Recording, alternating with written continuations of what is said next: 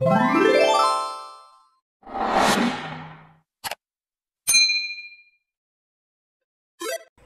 semuanya, kembali lagi di channel YouTube aku Idapar.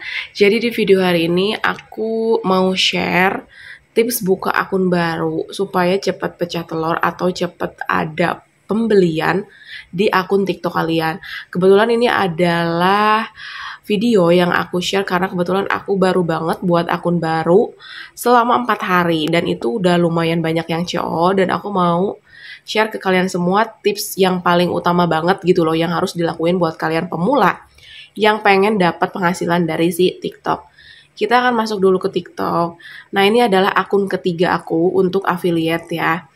Ini baru buka selama empat harian kalau nggak salah. Kurang lebih sebelum bulan puasa itu empat hari ya. Nah, ini adalah akun ketiga. Akunnya itu namanya cuci gudang dan ini tuh niche-nya lebih ke peralatan rumah tangga. Karena kebetulan waktu itu aku tuh mau promosiin produk yang aku beli. Jadi kan edisi lebaran itu ada toples yang lagi FYP banget dan ini tuh lagi hits banget penjualannya. Dan aku beli sampel satu produk aja. Nah warnanya warna ungu nih kalian bisa lihat ya.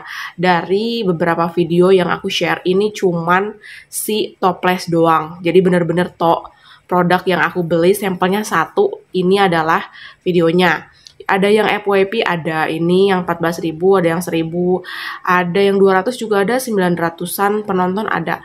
Pokoknya ini adalah akun baru yang memang progresnya lumayan oke okay lah ya. Nah tipsnya yang pertama buat kalian yang pengen buka akun pertama kali, tentuin dulu produk apa yang mau kalian jual pada saat buka atau pada saat opening si akun baru.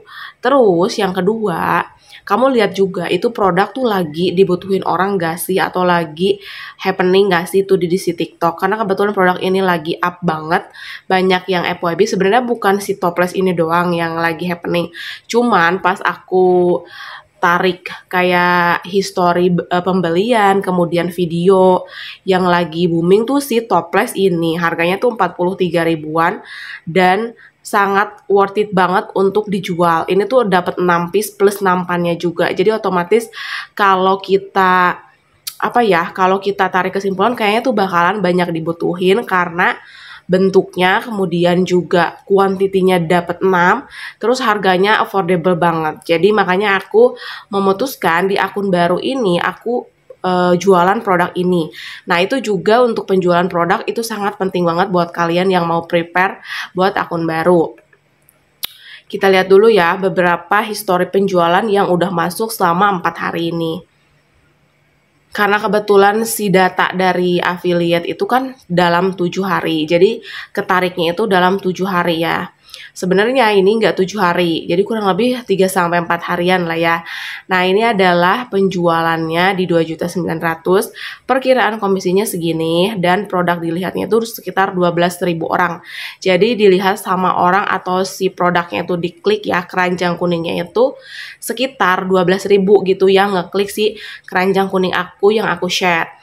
Nah ini komisi baru segini karena kan ini juga belum masuk eh baru satu hari masuk bu, uh, bulan puasa ya atau Ramadan.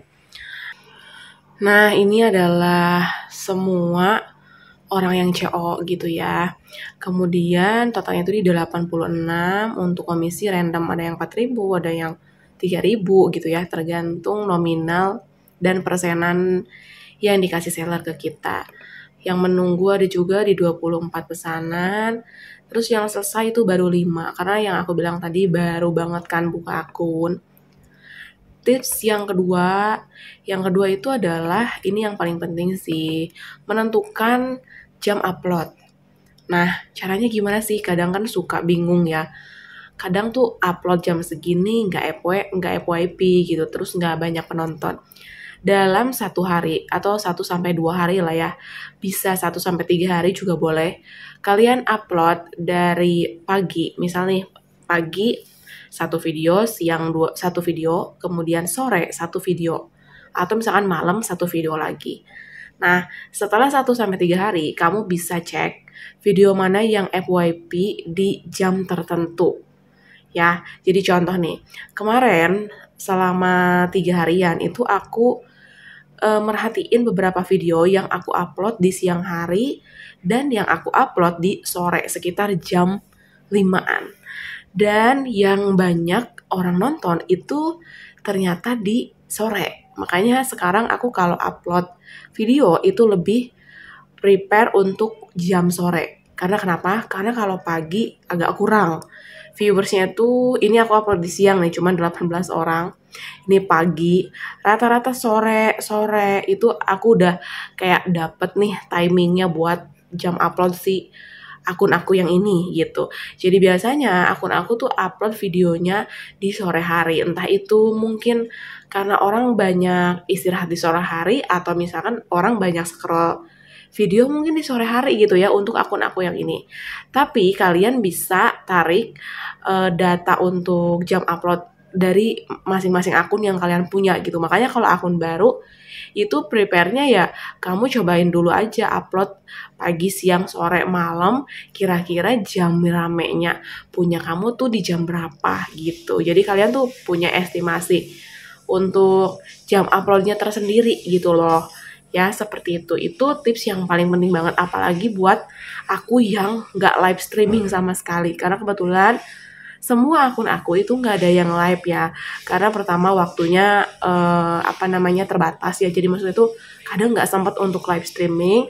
Terus yang kedua kebetulan karena aku bekerja jadi nggak ada waktu buat live. Kadang kalau pagi nggak sempat sore juga tidak sempat nah ini tuh kayak lumayan banget sih penghasilan kayak gini buat kita nih yang istilahnya cari sampingan tapi waktunya terbatas tapi tetap dapat uang gitu loh dari hasil-hasil video-video kayak gini.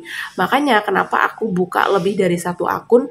Ya karena enak aja dari beberapa akun kita bakalan dapat komisi gitu lah. Contohnya akun baru aku yang ini gitu. Terus tips yang ketiga nih buat kamu pemula. Yang ketiga, usahain konsisten untuk upload video ya. Walaupun misalnya nih produknya cuma satu. Karena misalkan kamu mau kejar target produk ini tuh masih happening atau produk ini tuh masih up to date gitu loh di si TikTok. Terus aja upload. Kalian bisa lihat ya. Ini aku kenapa terus upload karena kan ya uh, apa namanya produk yang aku jual itu kan edisi lebaran ya. Jadi selama bulan puasa ya aku bakalan tetap upload gitu sih video-video ini. Dan untuk cara tag videonya aku udah kasih tahu ke kalian. Sebenarnya ini satu kali tag cuman angle-nya yang berbeda dan cara pengambilannya itu beda-beda gitu. Tapi tetap upload seperti ini gitu. Kalaupun misalnya ada produk lain yang pengen kalian share nggak masalah.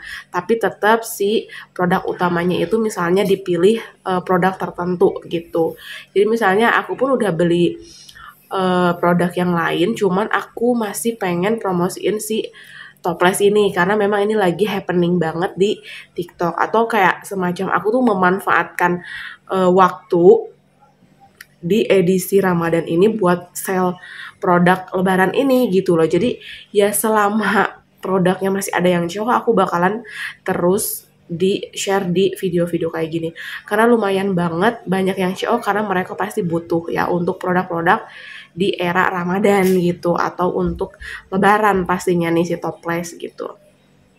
Oke okay guys, jadi itu poinnya ya buat kalian yang mau buka akun baru atau misalnya buat pemula yang baru banget mau uh, jualan di TikTok. Semoga membantu ya buat kalian. Ya, semoga ikut jebol orderan juga. Dan jangan lupa like, comment, subscribe di video channel YouTube aku dan see you on my next video.